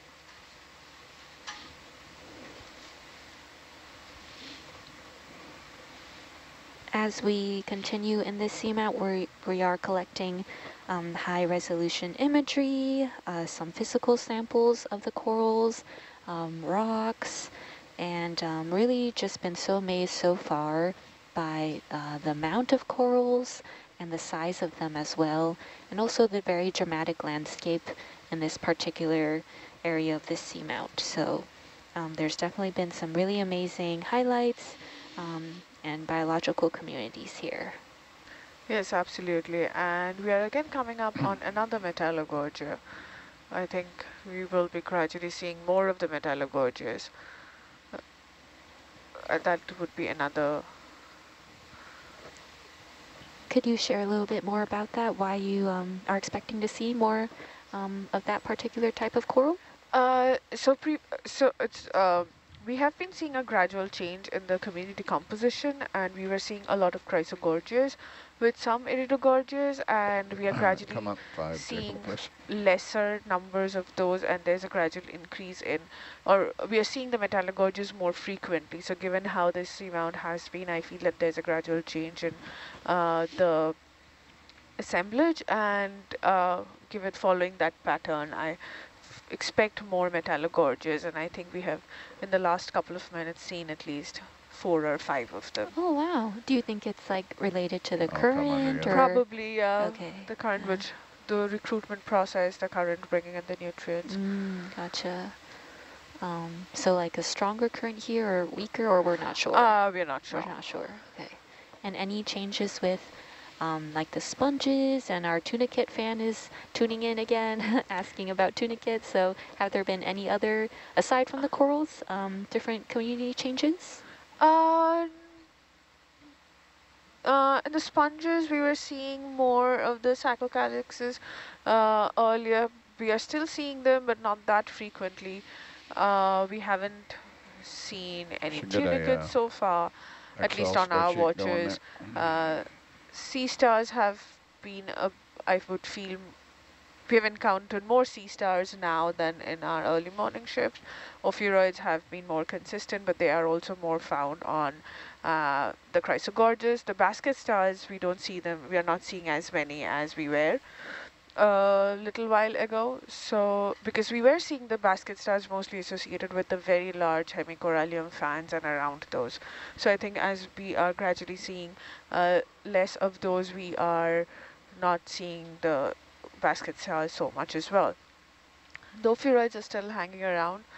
Uh, we are seeing farreid sponges, which we didn't see earlier in the morning. So there has been some changes other than the corals as well. Awesome. Thank you for that overview. Really helpful update of um, kind of these broader patterns that we're seeing. Yeah, yeah, everyone. I just wanted to provide a, a quick update on the plans for this dive. Uh, so it's currently 2 o'clock local time here in Hawaii. The original plan had us coming up at 4 o'clock, so two hours from now. Uh, we are going to modify this plan, uh, as is the name of the game. Um, so um, basically we're going to extend this dive by 12 full hours. So basically uh, extending it till 4 in the morning. That's when the ROV will be on deck. Uh, the reason for that is basically we wanted to, on this dive, survey both uh, the ridges and then also the top of the seamount where it gets more uh, uh, flatter and where we might expect to see some trawling impacts. And that's a part of the objectives of the dive. However, the terrain has been pretty steep and there's also been a lot of things to zoom in as a, and as a result we haven't covered as much ground as we hoped for.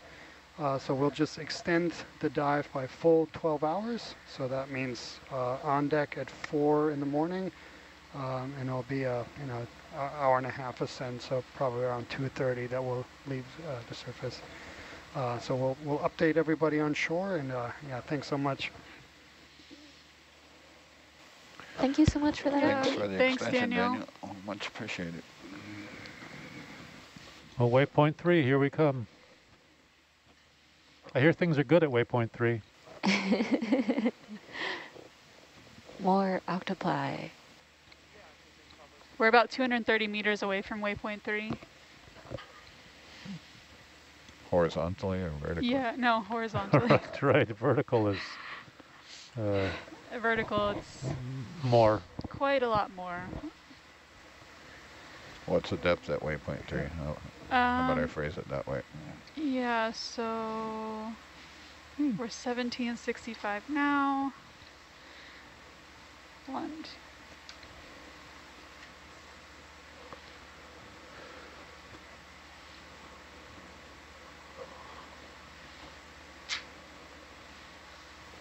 Yeah, one one more thing. Uh, yeah, Upashana brought up a good point. So yeah, since we're we're we're really hoping to get to the top of the seamount, um, what we'll probably also want to do is uh, once we get up to waypoint five, for those of you who are seeing the the dive plan, uh, that is basically where the the the the seamount starts plateauing. We'll head straight to waypoint seven, so not meander along the ridge, but basically cut straight across, and that should also save us a little time. Um, yeah, we, we expect to see here at the, at the top of the ridge probably quite a bit more marine life, and, and obviously we'll take our time to get close-ups of things that we haven't seen on, on the dive, but you know, for anything that we have, we just try to keep a good pace. Uh, so yeah, the, the real intention is to get to the top of that seamount where we might see some, some trawling scars and other potential impacts. Understood.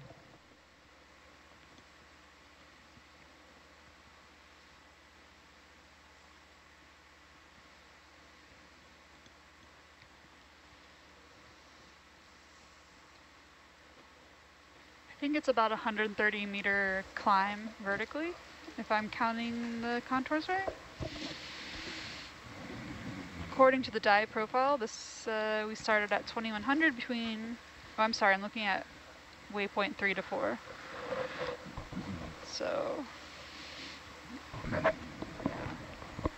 Oh, you can do rise over run and figure out what the slope is.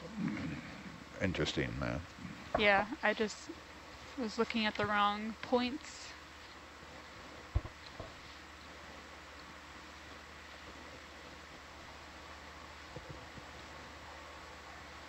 Or you could fire up Fledermaus and give us a 3D presentation. we have done that before. Mostly when it's uh, not so dense. Yeah. I have enough screens to look at come right up, now. Come up uh, five for me. Yep. Yeah, it's more of a blue water exercise or... Yeah. Flat bathymetry exercise.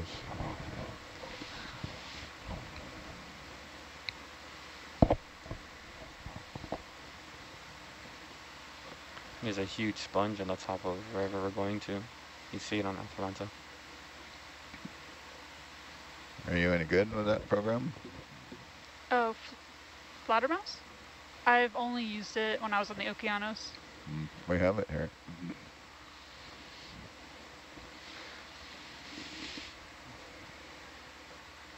If I was a super user, I'd bring it up. But yeah, there's I'm enough not, to look at I right now. I can barely right click on that thing. Yeah, and then continue.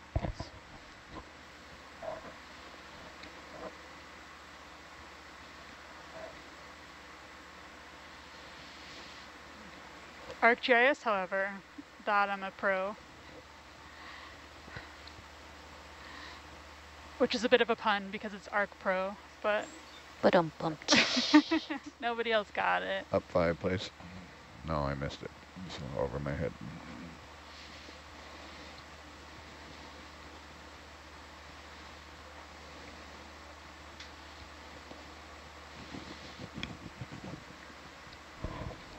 Yeah, as we are continuing to move uh, towards waypoint three, we are uh, seeing some, uh, we are continuing to see the chrysogorges, some metallogorges. Uh, that looks like a beautiful rosellid sponge, right a glass sponge. Uh, we are again seeing some uh, Pseudoanthomastus, uh, the Walteria euplectellid sponges.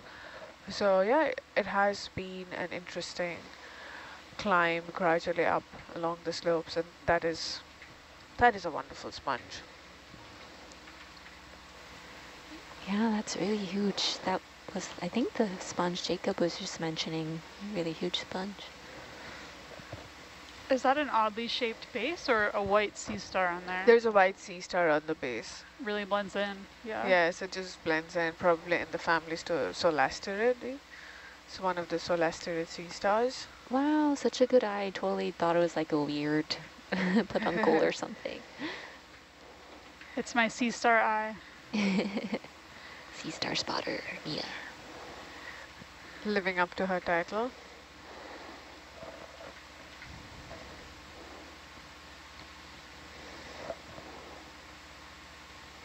Big sponge.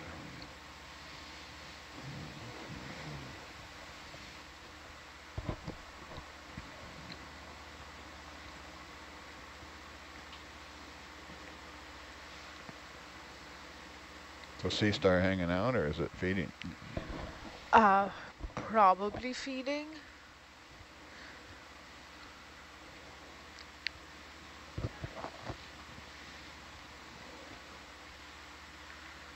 Come down five for me.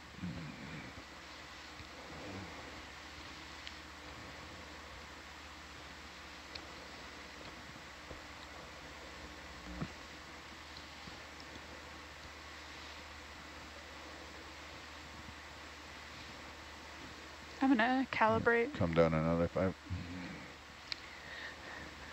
I, uh, would correct my ID for it. I would say that this is a stalked euplectellid and not a, a stalked rosellid. Now that I'm having a better look at the backside of the sponge where the top part joins the stalk. So I would say that it's a stalked euplectellid in the genus Bolosoma. The genus Bolosoma has a lot of uh, variability in it. Yeah, uh, we can gradually continue once everybody is happy. Yeah, we're on our way. What's that? Oh, we can continue on. Yeah, you don't want a close-up of the sea star? I thought you hated them, seeing them eat. Only when their guts are hanging out.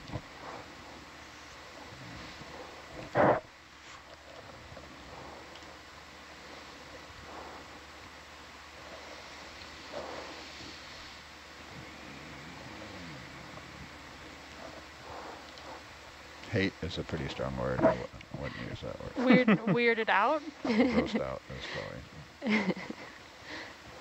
Not fond of. I didn't uh, know sea stars could um, be predators of sponges. What other um, organisms tend to eat sponges in the deep sea? Or we're not really sure about no, it? No, probably sea, some sea stars do feed on the... Uh, on the base? On the base of the tissue, yeah, but we haven't seen a lot of predation on the sponges. Right.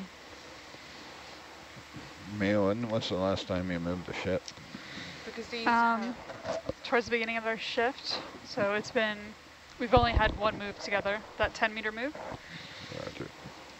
I was looking at maybe, I don't know how you feel about 210 when you're ready, but 210. As the bearing. Mm. Uphill is uh, west. Yeah. Because you guys are facing 270? Yeah.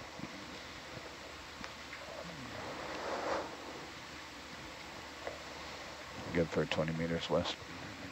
20 meters, 270? Yeah, right.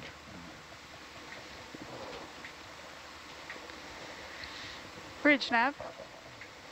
Can we please step 20 at 270? Thank you. Coming back to your question, Kara, from earlier, uh, mm -hmm. another reason why probably we don't see uh, much of active predation on the glass sponges is because their tissue is mostly made up of siliceous spicules. Right. So they are not very good sources of nutrition right. for the other organisms and also can be very difficult to digest. Right, it's like basically crunching on glass shards. Yes, exactly. so that is probably one reason why we don't see a lot of predation on the glass sponges. Um, I would think that there's, uh, I'm not sure about the, uh, if the stalks have lesser concentration right. of the spicules. If that is so, uh, it, it is probably why we see some sea stars around the bases, but not mm -hmm. much higher up along the right. on the sponges. Look down just a bit for me.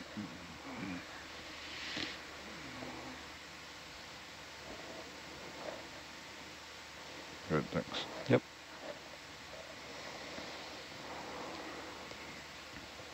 And we had a viewer ask, do those sponges feel like popcorn? Um, so these siliceous spicules um, are basically made of glass, like sili silicon, siliceous, um, silicon dioxide. So um, it's kind of like these little glass shards suspended in like another um, material that's uh, maybe more like um, not quite popcorn and soft like that um, texture, but it has a little bit of resistance to it, um, kind of like what you would think with a sponge. Um, normally, maybe a little firmer than a kitchen sponge, although I haven't actually handled any deep sea sponges, so I'm just talking about shallow water sponges here. Um, but when we used to sample shallow water sponges, we would always advise people to be careful not to get what we called sponge hand because they would get spicules in their um, fingers, and then it would kind of feel a little bit like if you've ever had like fiberglass I was just going to say like fiberglass, yeah. Yeah, like fiberglass. So um, probably not something we want to touch too much. No. I helped my dad build a, fence with fiberglass posts, and he didn't warn me ahead oh, of time, no. and I, I Itchy. grabbed right onto that fence post. Oh no! I'll never forget that lesson. yeah, we are seeing some very wonderful Chrysogorgia colonies. There was another Bolosoma uh, glass sponge at the tucked in the bottom, some crinoids, hemicorallium, again, one of those very large hemicorallium fans as we continue moving upslope, right? Upslope, I imagine. Yep. West. Westward ho. Mm West side, the best side. And we just had some shout outs from our previous ship to shore from push in there for me. Those at Moss Creek, thanks for tuning in after your ship to shore and um, uh, thanks for joining us and uh, staying curious as we explore this seamount. Um, please feel free to keep asking your questions. Good, thanks. And also, a, yeah. also a shout out for Taylor Ann and Jacob, just saying you guys are doing awesome. There's a cup coral and we see some squat lobsters in the Chrysogorgia. Okay, go ahead, thanks.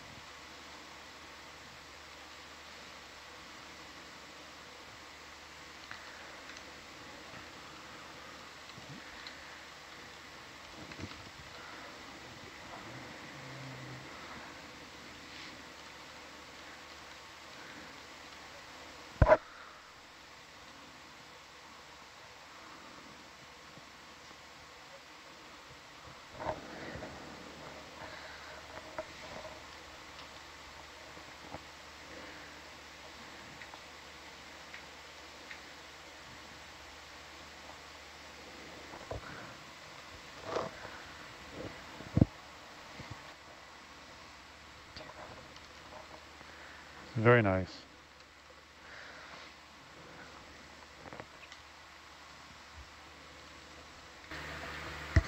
Can we get a quick zoom on this, please?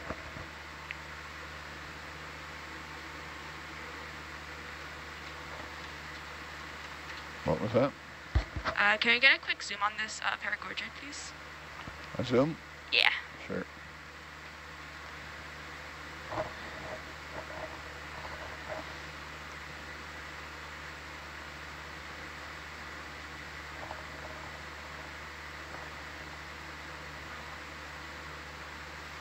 Are those basket stars on yes, the coral? Yes, those are basket stars.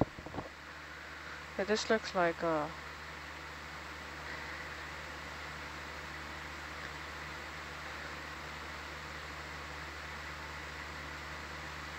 Any particular area you want to see closely? Uh, where, wherever we can have a look at the polyps. Uh, not too close to the basket stars, probably. Uh, polyp zoom, okay. All right.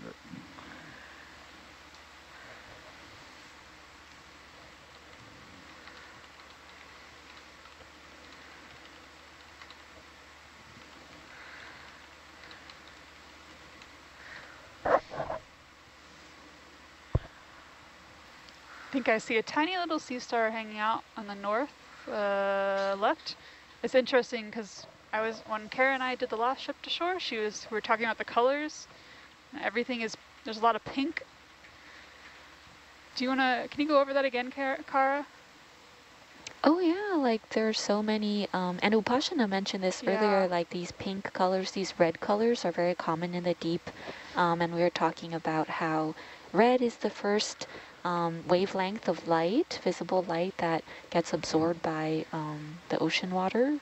So really when you're at these great depths, um, red things kind of appear brown or black or pretty much in this case invisible since there's really little light to begin uh, begin with here. So um, pretty amazing. Yeah, lots of these stunning colors. And then it looks like there's like a yellow crinoid mm -hmm. on there too. Yes. Okay, Janet, full zoom there.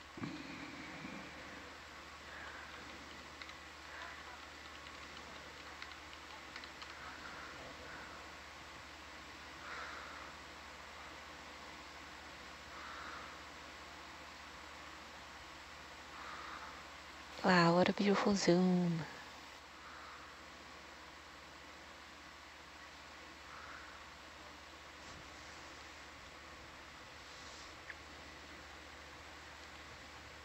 Are they retracted or do you think yes, they're, yeah, yes, okay. Yes, yeah. they're retracted. And what kind of coral was this again? Uh, a paragorgia. Okay. So these are the uh, bubblegum corals. Gotcha, thank you. Still yes. gotta make those flashcards. Are we good? Mm -hmm, we're good. Thank you. We can continue moving. Thank you.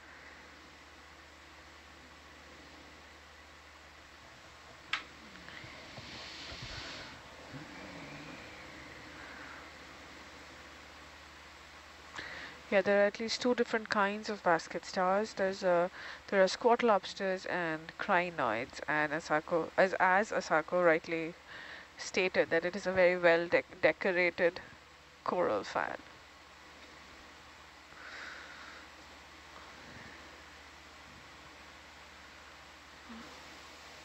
Do you think the basket stars add any significant weight to this coral, like affecting how it grows or if it topples eventually or anything like that? Uh, I'm, I'm sure they add some weight, but given how big the fans are, probably they don't add any risk to them toppling over. But I'm sure they must be adding some weight given how many there are. Right. All those arms. Yes.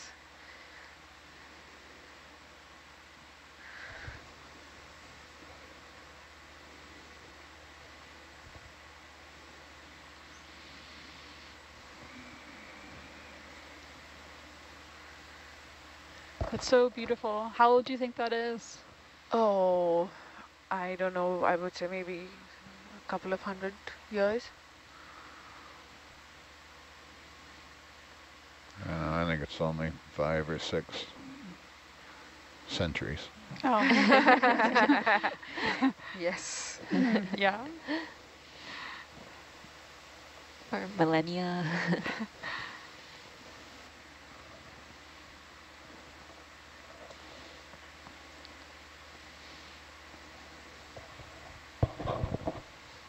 All right, we're good.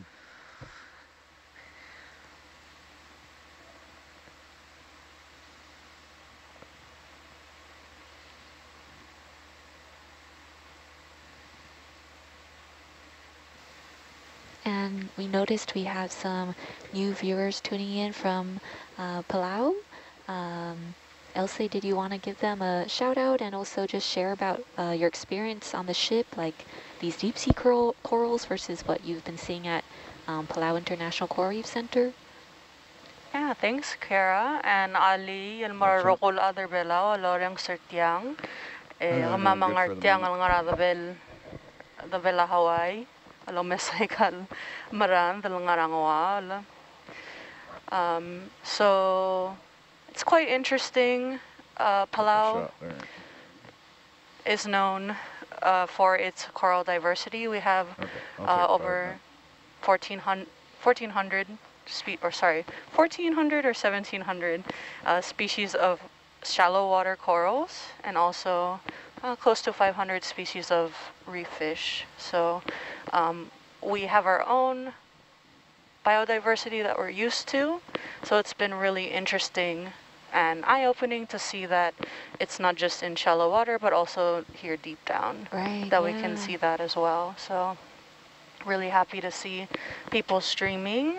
Um, and that's the great thing about what we're doing here at Nautilus Live is that it's available to people all over the world. And um, yeah, thanks, yeah. Kara, for that. And yeah. I see there's someone from Guam as well. Yeah, have a day. thanks for tuning in.